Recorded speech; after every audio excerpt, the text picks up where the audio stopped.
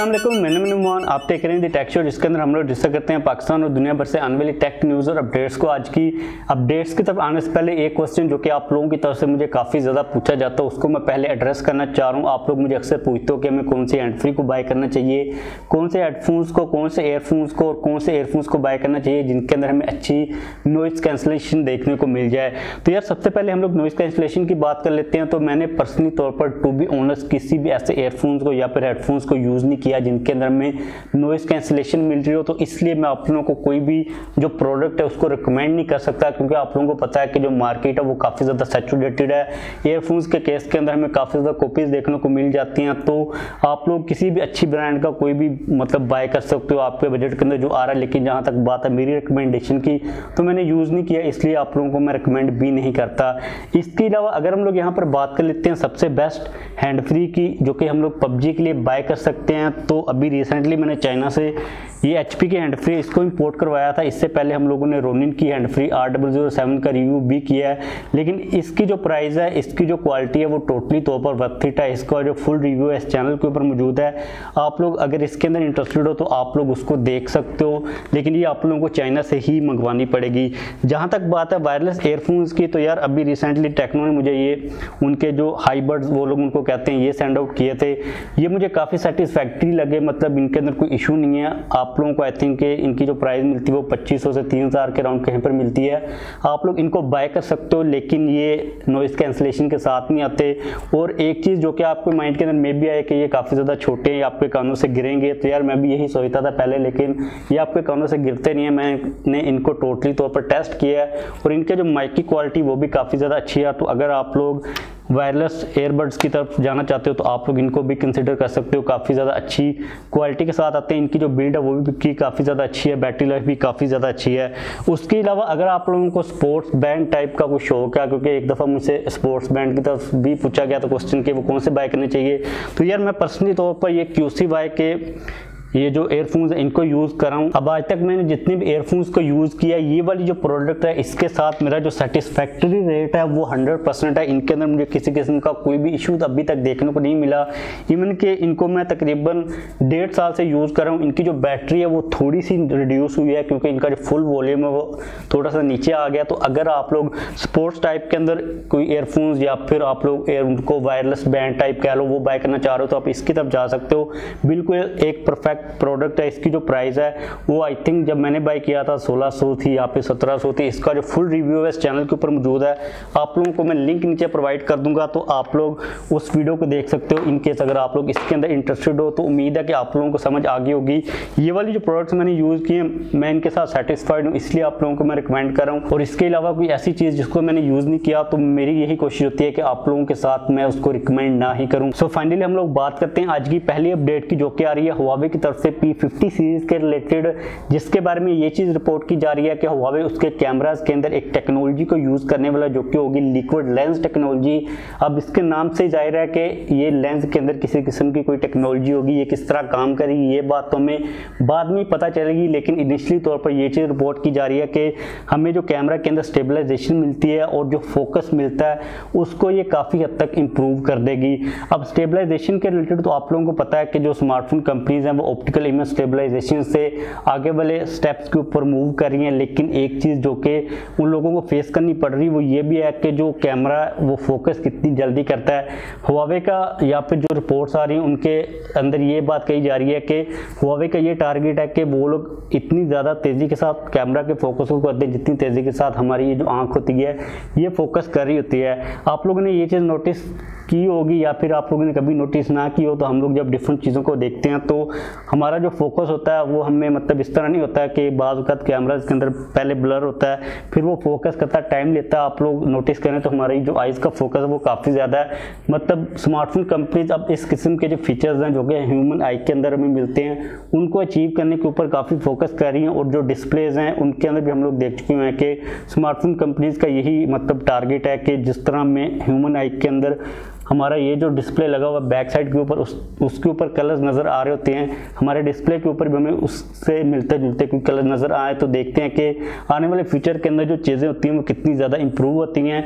उसके बाद अगली अपडेट यहाँ पर आ रही है, आ रही है सैमसंग की तरफ़ से। तो अभी रिसेंटली सैमसंग ने दो पिक्चर्स को रिलीज़ किया, जिसके अंदर सैमसंग ने टीज किया अपने फ्यूचर के अंदर आने वाली डिस्प्लेज की टेक्नोलॉजी को।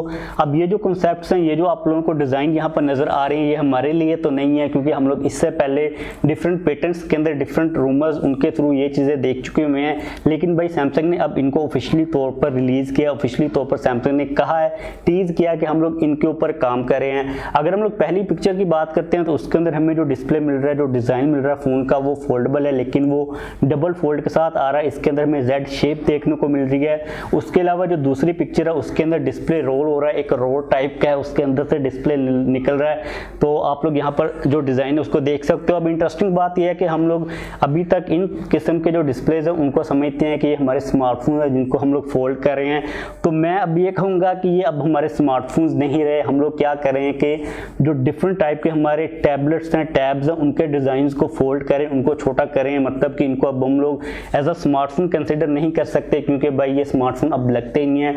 अब हमें इनके बारे में ये बात करनी पड़ेगी कि सैमसंग ने एक टैबलेट को लॉन्च किया जो कि फोल्ड होके, दो दफ़ा फोल्ड होके छोटा हो जाता है, या फिर सैमसंग ने एक ऐसे टैबलेट को लॉन्च किया टैब को लॉन्च किया जो कि रोल होकर छोटा हो जाता तो आप लोग उसको पॉकेट के अंदर डाल सकते हो। अब हम लोग इनको ये नहीं कहेंगे कि सैमसंग का एक स्मार्टफ़ोन आया जिसको हम लोग दो दफ़ा अनफोल्ड करके इतना बड़ा कर सकते हैं तो इट मीन्स कि आप लोगों को जो मेरी बात है, यहाँ पर समझ आ गई होगी। अब देखते हैं कि सैमसंग इन डिस्प्लेज के साथ, इन फॉर्म फैक्टर्स के साथ अपनी डिवाइसेस को कब मार्केट के अंदर लेके आता है, लेकिन जितनी टेक्नोलॉजी सैमसंग ने डेवलप कर ली हुई है, मुझे लगता है कि 2022-23 तक ये हमें मार्केट के अंदर देखने को मिल जाएँगे उसके बाद अगली न्यूज़ यहाँ पर आ रही है शॉमी की तरफ़ से। तो भाई finally Xiaomi Mi ten T series Pakistan के अंदर आ रही है। शॉमी के जो सोशल मीडिया पेजेस हैं, उनके ऊपर उन लोगों ने टीज करना स्टार्ट कर दिया हुआ है कि Mi ten T series Pakistan के अंदर बहुत जल्द आ रही है। कोई भी ऑफिशियल डेट को अनाउंस नहीं किया गया।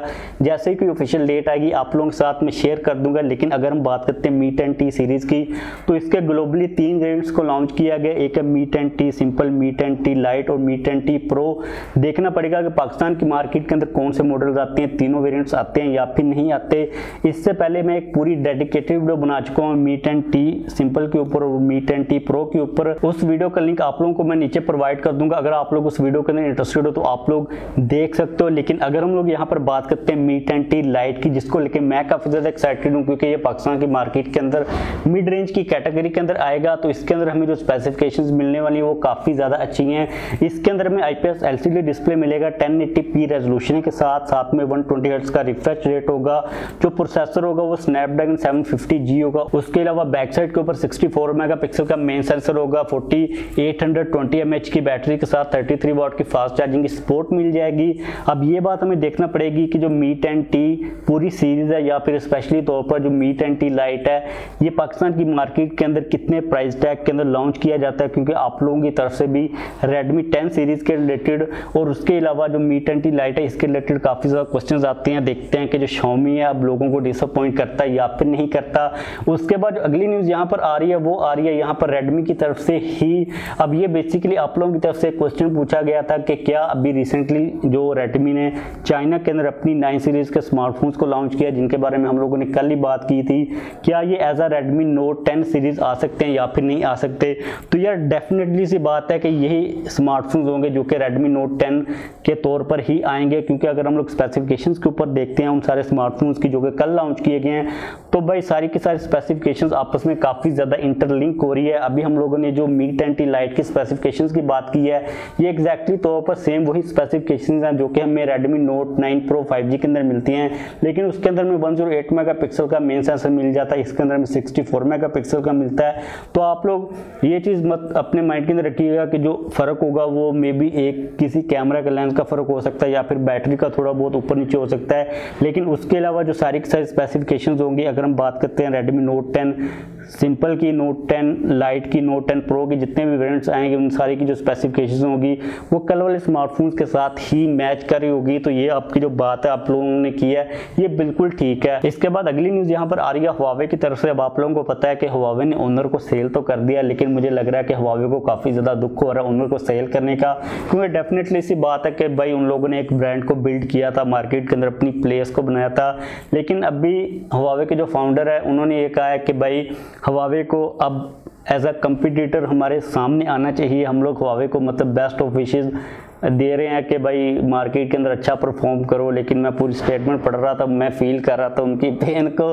लेकिन अच्छी बात यह है कि उन्होंने कहा कि भाई इजी हो जाओ, अब आप लोग हमारे कंपटीटर हो, हम लोग आपको ग्रो करना, करते हुए देखना चाह रहे हैं। और इसके अलावा हवावे के फाउंडर ने यह भी कहा है कि कुछ अमेरिकन पोलिटिशियंस ये चाह रहे हैं कि हवावे को किल कर दें। तो आप लोग अंडरस्टैंड कर सकते हो कि जो बिज़नेस है फाइव जो सिक्योरिटी सिक्योरिटी का कोई सीन नहीं है, जो हवावे के फाउंडर थे, वो थोड़े से सैड थे तो मैंने सोचा आप लोगों के साथ शेयर कर दूँ। इसके बाद अगली न्यूज़ यहाँ पर आ रही है रेडमी नाइन के रिलेटेड अब जो स्पेसिफिकेशन है, मुझे लगता है कि रेडमी भी क्या कर रहा है शॉमी के एक दफ़ा उन लोगों ने स्मार्टफ़ोन को बना लिया हुआ है, उसकी एक साइड को चेंज कर देते हैं, उसके कान को मोड़ के थोड़ा सा दूसरी ब्रांड के नाम के ऊपर या फिर इधर उधर जो चीज़ें उनको शफल कर रहे हैं, जो रेडमी नाइनटी है, उसके बारे में ये कहा जा रहा है कि ये may be Poco M three या फिर कल जो रेडमी ने बेसिकली परसों लॉन्च किया था, हम लोगों ने कल वीडियो के अंदर बात की थी, इसलिए मैं कल का रेफरेंस दे रहा हूँ। जो रेडमी नोट नाइन का फोर जी वेरियंट है उसका रीब्रांडेड वर्जन नाइनटी भी हो सकता है, लेकिन जो नाइन्टी होगा, उसकी बैक साइड के ऊपर में चार कैमराज मिलेंगे main sensor forty eight mega का होगा, साथ में एक additional camera eight mega pixel का अल्ट्रा वाइड सेंसर होगा टू मेगा पिक्सल का डेप्थ सेंसर होगा टू मेगा पिक्सल का मैक्रो सेंसर होगा। स्नैपड्रैगन का जो प्रोसेसर है सिक्स सिक्सटी टू वो हमें देखने को मिल जाएगा प्लस 5000 थाउज़ेंड की बैटरी के साथ 18 वाट की फास्ट चार्जिंग की हमें सपोर्ट देखने को मिल जाएगी। तो आप लोग यहाँ पर आइडिया लगा सकते हो कि जो शॉमी है बेसिकली ये काम कर रहा है कि जो पूरी रेंज है, जो कि बीस हज़ार से स्टार्ट हो रही है और जा रही है पचास हज़ार तक, उसको कवर किया जा सके, चाहे वो रेडमी के किसी फ़ोन के साथ कवर किया जाए या फिर शॉमी के अपनी मी सीरीज़ के किसी फ़ोन के साथ या फिर पोको के किसी फ़ोन के साथ कवर किया जा सके। इवन के जो पोको है एक सेपरेट ब्रांड बन चुकी है, लेकिन ऊपर जो पेरेंट कंपनी वो तो सेम ही है। तो आप लोगों के लिए ओवरऑल एक अच्छी न्यूज़ है, क्योंकि जितनी ज़्यादा ब्रांड होगी, जितने ज़्यादा मॉडल्स होंगे, हमारे लिए जो चॉइस है और जो कंपटीशन का लेवल उतना ही ज़्यादा इंक्रीज हो जाएगा। तो आई थिंक हमारी जो न्यूज़ हैं वो ख़त्म हो चुकी हैं। वीडियो को ख़त्म करते हैं जाने से पहले। आप लोग नीचे कमेंट्स में लाजमी तौर पर बताइएगा कि आप लोगों को क्या लगता है कि शॉमी का ये जो काम चल रहा है कि जो स्पेसिफिकेशन ओवरलैप हो रही हैं, एक जगह की चीज़ को दूसरी जगह के ऊपर फिट किया जा रहा है। ये आप लोगों को जो स्ट्रेटजी है, ये कैसी लगती है? मेरी नज़र के अंदर तो ये ठीक है क्योंकि हमारे लिए ऑप्शन इंक्रीज हो रहे हैं। उसके अलावा अगर आप लोगों का किसी किस्म का कोई क्वेश्चन हो तो आप लोग डेफिनेटली नीचे कमेंट्स के अंदर पूछ सकते हैं। जाने से पहले इस वीडियो को लाइक लाजमी तौर पर कीजिए अगर आपने अब तक चैनल को सब्सक्राइब नहीं किया तो चैनल को भी सब्सक्राइब कर लीजिए।